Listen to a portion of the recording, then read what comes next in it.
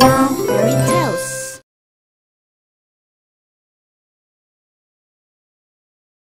Rumor had it that hundreds of years ago, deep in an ancient mysterious cave in the eastern forest, inhabited the fearsome descendants of the Serpent Growers. If any of the hawks dare to cross this border, they will pay for that. Therefore, everyone should pay careful attention when looking for herbs in this border area. Clear? Sure! Sure! And this was David, a talented warrior of the Hawk tribe with bright eyes and strong, flexible wings. He always loved and cared for hmm. everyone, especially his kind sister Anna. When he knew the Pearl of Life representing the life of the Hawks, as well as Anna, didn't have good health from a young age, he did not hesitate to find herbs for her sister in the border areas. One day, while going through the storm, because of her exhausted body, Anna's wings were stuck in the bushes near the eastern forest. David hurriedly flew back to see the situation. However, when David had just rescued Anna, a hmm. bolt of lightning struck the cliff, causing the rock hit his wing and made him fall into the forest. Oh no! In the moment David was falling, suddenly the figure of a giant snake passed by him and disappeared. However, because it was raining harder and harder, Anna's health was not stable. Plus, David had fallen into the territory of the snake tribe. Anna was sad and determined to return to find help from her teammates. As ah. for David, ah. after he woke up, he found himself in a strange cave and his body felt heavy from the wounds on his body. While David was about to leave, suddenly a girl with a mysterious scent appeared, anxious to see his wound.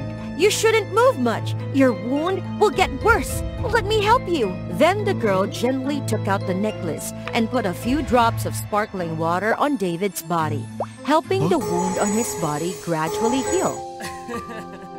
Thank you for saving me. But who are you? Why are you helping me and what is this water? Well, I'm Sapphire, a bird without wings with an ugly face. I don't want to reveal it to anyone, so since I was born, I have lived alone in a small cave in this cliff. Besides, I often see you and your teammates flying over here. Today, while I was looking for food, I saw you injured, so I came to help. And this is a magic remedy that I made from precious herbs near this area, capable of helping to heal wounds quickly. So I use it to help you get well soon. Seeing that Sapphire did not want to reveal more, David hmm. just nodded, kept the rest of the questions in his heart, and silently hmm. observed her day by day. Gradually, David realized that even though Sapphire usually didn't talk or express her feelings, every time she came, she took care of him wholeheartedly. Moreover, he enjoyed spending time with her and realized that she had feelings for him too. After the conversation and healing the wound, Sapphire also gave him a strange fang necklace as a gift. However, David discovered that Sapphire was getting weaker and weaker each time she helped him heal. Sapphire, are you okay? David! It's my sister and comrades. They must have found me here. Oh no! I can't stay here much longer. I need to leave right now. Sapphire, I see. You don't have to panic. No, I'll distract them. Uh, please, find a safe place to leave. Sapphire was surprised to hear David say that, but she nodded and left. As soon as she went out to the back door of the cave, Anna and everyone were already standing there. Sapphire panicked, took a step back, and David rushed out to protect her. David, thank God you're safe and healthy. But who is this? This is Sapphire, who saved my life. But right now, she has an urgent need to leave here. So everyone, please, open the way for her to go. With Anna's sharp eyes, she sensed that there was something wrong with Sapphire. Anna spread her wings and flew toward Sapphire, causing her hat to fall off and revealing the face of the serpent race. This made Anna and the others very surprised and planned to attack Sapphire because she thought Sapphire had bad intentions with David. However, David quickly stopped and created an opportunity for Sapphire to leave. Huh, David, you helped her escape? Maybe you are already mesmerized by her. No, she really took care of me all this time. No more excuses. Hurry and bring David home. Hmm. No, let me out! And I will definitely find Sapphire to get that elixir. David was brought back home, but he was still restless and blamed himself for not protecting Sapphire's identity. David had long known she was a serpent through her scent, gestures and actions when she took care of him. He was very worried about whether Sapphire was safe now when suddenly the fang lit up, releasing a guiding scent that only he could see to lead him to Sapphire's place. David sneaked out of the nest, looking for Sapphire without noticing that a dark shadow was watching his every move. David followed the scent and hmm. found a snake cave in the eastern woods. However, just as he entered, a serpent guardian appeared and oh, stopped him. Oh, people of the Hawks, why did you appear here and want to enter our holy realm? I followed the scent from Sapphire's fang and came to this place. Now, I would love to see her and examine her wound. Turns out that the person that Princess Sapphire took care of and gave the precious fang was you. Prove that you are very important to her. However, if you wish to meet the princess, you must give me your wings as a means of communicating with the gods here. I have to trade these wings? But for an elite hawk like me, wings are essential for hunting. Really? Then the princess mistakenly believed. Hmm.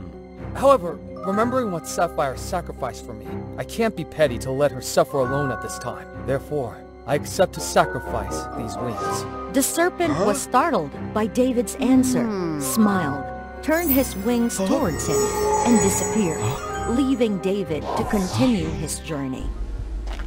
Near the end of the path, David came to a huge gate with the face of a large snake looking up at him. All right. I will open this gate for you, on condition that you exchange your eyes for me. I understand.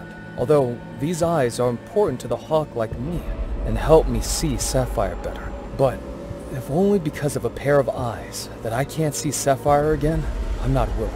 Therefore, I am willing to sacrifice these eyes. Very well. Congratulations for completing the challenges. Please come in. Although David did not understand what the door was saying, he still hurriedly followed the scent from the fang to find Sapphire behind the gate. Sapphire saw David and she was very touched. She did not expect David to be willing to sacrifice so many things for her. However, suddenly a strong wind blew between them and caught her. Finally, Princess Sapphire and the elixir to cure all diseases are in my hands. Anna, why are you here? Because I want to have hmm? Sapphire's elixir, the symbol of the ancient serpent descendants, which has the effect of reversing death. Unexpectedly, you got acquainted with Princess Sapphire. When both of you weren't paying attention, I took the opportunity to capture her to get the elixir. Anna, please stop. I know you always hope to find a cure for your illness, but Sapphire is very weak right now. If she has to take any more drops of the elixir, I'm afraid she won't be able to suffer anymore.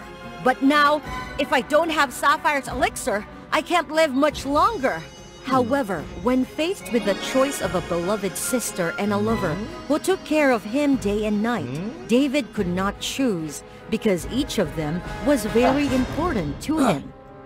Before letting Anna use her claws to attack Sapphire, David rushed to prevent the unfortunate from happening. David! Why? Why are you so stupid? Because I know your true self is really kind. You don't want to harm anyone. Moreover, you can't use force to solve everything. You can't force people to do as you please because of your selfishness and desires. David, what are you doing? Because I myself always want the best for you and Sapphire.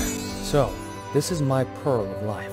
It will help you live. So please, spare Sapphire a way to live. I hope this small gift can repay your support. And I hope you and Sapphire live happily together. David! While David was preparing to leave the regret of everyone, a light suddenly radiated around him. Turns out, the serpent guardian saw David's great heart, so they embodied to save him in front of the happiness of hmm. Anna and Sapphire. Hmm.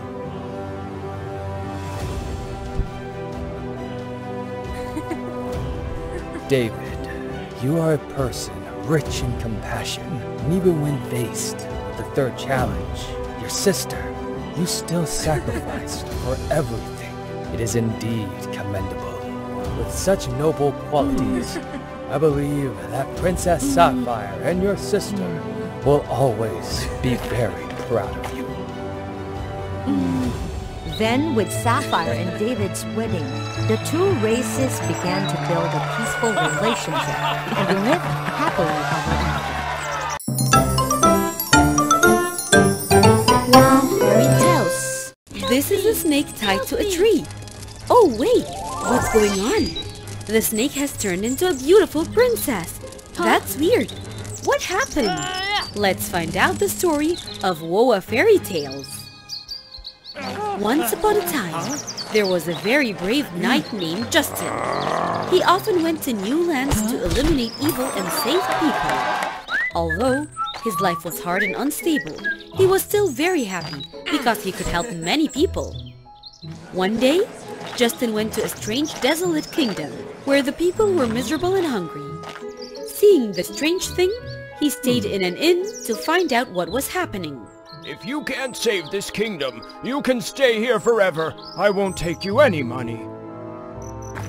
Actually, this place used to be very peaceful, but in just one night the royal palace suddenly disappeared. Huh? Without the king, we were extremely panicked, and robbers arose everywhere. As you see, everything got worse, so people were miserable and hungry. Curious about the mysterious story in this kingdom, Justin began to search everywhere while wandering in the forest. Help me! Is there anyone? Help me! Running towards the cry, me. Justin saw a snake tied to a tree in front of a dark castle. Help me! All of them were in flame. Hero, save me! A snake can speak like a human? Unbelievable! Because of his kindness and curiosity, he ran into the flame to escape the snake. Huh? Thank you very much. Actually, I'm not a snake, but Princess Avery of this kingdom. Please, save our royal family. What? You say you're a princess? And this is the palace of the king of this kingdom? What happened to you? It's all about the witch Bruno, who is the prime minister of the kingdom. He used witchcraft to bring the castle to this forest. He even forced me to marry him. My father was enchanted, so he obeyed Bruno and didn't care about me. when I refused to marry him, Bruno turned me into a snake for fun. And tortured me. in fire every day until I agreed. Lucky to meet you, so I can be free. I got it. I am Justin. Since we have a chance to meet each other, I will help you. What should I do to save the king and this kingdom? You have to defeat the powerful wizard Bruno, who controls the whole castle. I will give you a hand. Under the tree in the palace garden is buried a miraculous sword of my family. It can help you open the castle door.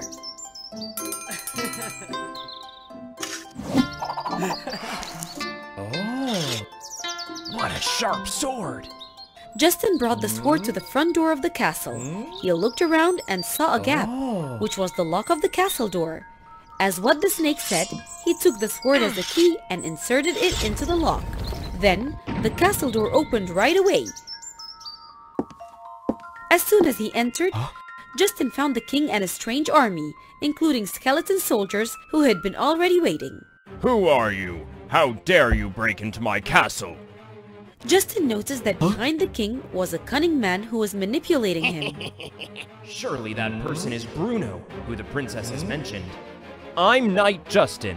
Your Majesty, I have come to awaken you. You are being controlled by that Prime Minister Bruno.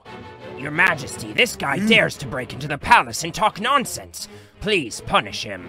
Guards, put him in jail right now. Not wanting to make trouble for the king, Justin let the soldiers take him away. Hmm.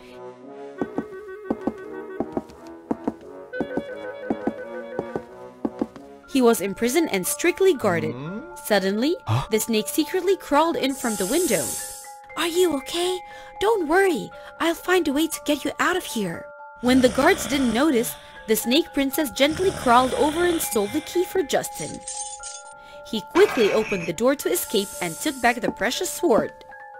My precious sword will be useful to you. Take it with you. After that, Justin followed the snake princess's instruction to enter the castle. Ahead is Bruno's private secret room, which is guarded very carefully. Justin went to the secret room and saw Bruno's skeleton soldiers who looked very cruel. The commander is a skeleton soldier wearing a strange shield. Who are you? How dare you to invade the domain of our master, Sir Bruno? You will have to pay the price for it. Justin was not afraid of a large army of skeleton soldiers. He attacked the commander by slashing at his shield, but the shield was unharmed, only letting out a defeating sound. The strange thing was, the skeleton soldiers were all affected by that sound, even if only for a moment. Justin was very delicate to realize that. They seem to be affected by the sound of this sword attacking that shield. These two are precious treasures. Justin, the sword I gave you has a magical ability. Let's do it like this. Hmm. He faced the army, raised his sword, and chanted the spell. Magical sword, help me defeat them. Immediately, all the skeleton soldiers turned to dust, leaving only the commander wearing the shield. You, you will have to pay the cost. The skeleton commander rushed and attacked brutally, but Justin calmly fought back. Knowing that he could not fight directly because of the shield, he ah. dodged the commander's sword, then sneaked behind him and slashed him to dust. Only the shield was undamaged. Justin picked it up and happily took it along with him. After defeating the skeleton soldiers, he opened the door of the secret room and stepped inside. Right after that, the cruel witch Bruno appeared in front of him. He got extremely angry. You cursed snake! It was you who led this knight inside to destroy everything. You all have to die to pay for it. Justin attacked Bruno with his sword. However, the witch could quickly dodge, so Justin was unable to reach him. It's not good. I have to change my strategy in order to defeat this witch. Justin cleverly changed his strategy. He no longer attacked, but paid more attention to defense. It was not easy for the wizard Bruno to defeat him, because he had just won the precious shield. But if I just defend, I can't defeat him. What should I do now? While thinking, Justin suddenly remembered the strange sound when his sword and shield collided, which caused the skeleton army to be momentarily disabled. Right. Uh-huh. It works against the skeletons. It should work against that witch also. I need to try. Then, he smashed his sword and shield together, creating a loud sound that annoyed the witch. Too noisy! Stop it now! Don't smash them together! Seeing that worked on him, Justin felt excited and kept smashing the sword against the shield to make loud noises. As Bruno was distracted by the sound, he couldn't attack him like before. That sound also had other effective use. It spread very quickly throughout the castle, which made the king and uh-huh. soldiers gradually awaken. They all regained all their memories. I remember everything. It's Bruno who has controlled this whole castle all this time. This sound is coming from his private room. I have to get there now. Meanwhile, Justin was still smashing his sword from his shield to annoy Bruno. He patiently waited for his opportunity to come. At that time, Bruno's magical staff suddenly shone. It formed a cage around Bruno to prevent him against the sound that was echoing. I get it! Justin, destroy Bruno's staff now! All his power stems from that staff! Justin rushed forward to slash Bruno's staff with his sword. the ruby on the staff slammed into the ground and shattered. Losing the ruby, Bruno's magic all disappeared. Ah, my power! No, why could they know this? It can't be like that. As Bruno's magic was gone, the Snake Princess returned to the beautiful Princess Avery. At that moment, the king led his troops in. Seeing that Avery was back as before, they both felt really happy. Bruno was completely defeated, so he was quickly put into jail. The palace was also returned to its original position. Everyone in the kingdom was so happy. The king then helped the people overcome the difficult situation. His decision was warmly welcomed by all. That kingdom was finally free again. Justin and Avery fell in love with each other. The king was also delighted and agreed with their marriage. Their wedding ceremony took place throughout the kingdom with the congratulations of everyone.